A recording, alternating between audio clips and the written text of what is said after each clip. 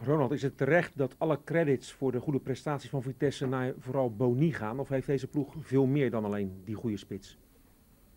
Nou, het is niet terecht dat het uh, allemaal naar Boni gaat. Want het is een collectief, het is een elftal wat, uh, wat uh, organisatorisch goed in elkaar zit. Ik vind altijd dat de hand daarin zit van de trainer. Die bepaalt de manier van spelen, die bepaalt de lijnen waarin spelers, uh, en daar zie je duidelijke lijn in terug. Dus de hand van de trainer is absoluut uh, zichtbaar. Maar ze hebben ook een aantal fantastische spelers. Theo Jans is een fantastische speler. Van, van Ginkel is misschien wel uh, ook het grootste talent van Nederland. Boni is, ja, kans is kool. Ja, wat wij met Pelle hebben, heeft Vitesse met Boni. Maar daar loopt ook wel wat overheen. Boni doet weinig verdedigend. Dus dat vangen ook anderen op. En mag uh, in zijn sterkte spelen. Nou ja, dat is de hand van de trainer. Nu heeft jouw collega Rutte nogal wat problemen. Althans, Van Ginkel gaat zeker niet spelen, is net bekend geworden. En Boni is onzeker voor zondag. Maakt dat voor jouw plan van aanpak nog iets uit? Nou, plan van aanpak niet. Maar ik denk als uh, één Van Ginkel er niet bij is. Ik weet niet, ik ken de hele selectie niet zo goed van Vitesse. Maar ik denk niet dat er een tweede Van Ginkel uh, in de selectie speelt. En Boni is buiten de topscorer. Is denk ik voor Vitesse uh, mentaal gezien ook een heel belangrijke jongen om die uh, erbij te hebben.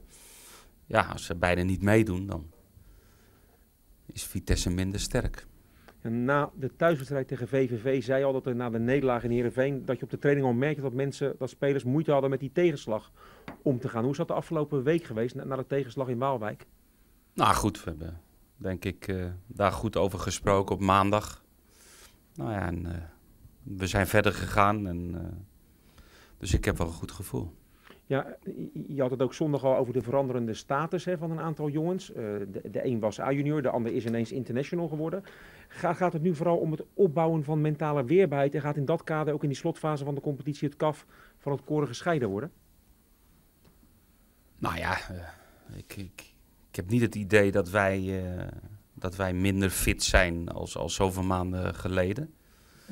Maar bepaalde spelers hebben wel meer wedstrijden gespeeld. Bepaalde spelers hebben wel op een hoger niveau moeten acteren. En dat kost heel veel kracht. En, en zijn nog niet ervarend genoeg om, uh, als je misschien uh, iets minder focus of iets minder fitheid hebt, om hun prestatie neer te zetten. Is niet voor niets in deze fase dat, denk ik, de oudere jongens bij ons, uh, Pelle, Matthijsen, hun niveau halen. En een aantal anderen daar, uh, om wat voor reden dan ook, wat meer moeite mee hebben. Ik denk dat het logisch is qua leeftijd. En je kunt in dat kader ook het eigen ervaring putten. Is het dan gewoon een kwestie van dit heel veel seizoenen achter elkaar meemaken om uiteindelijk wel die stap te kunnen zetten? Nou ja, dat is ervaring. Ervaring krijg je door uh, dit soort momenten en, en van dit soort momenten te leren. En daar uiteindelijk word je, word je een betere voetballer.